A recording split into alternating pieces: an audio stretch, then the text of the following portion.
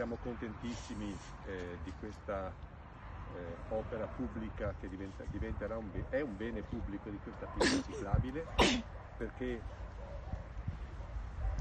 per quello che io mi ricordo è almeno dal 1993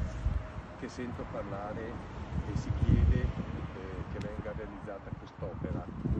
con tutte le difficoltà che ci sono state. Quindi siamo contentissimi eh, che questa amministrazione sia riuscita a portarla a termine e, e che eh, abbia intenzione di valorizzarla ulteriormente non soltanto con degli alberi ma anche facendone il primo tratto di una, quella che si chiama in gergo tecnico autostrada per le api,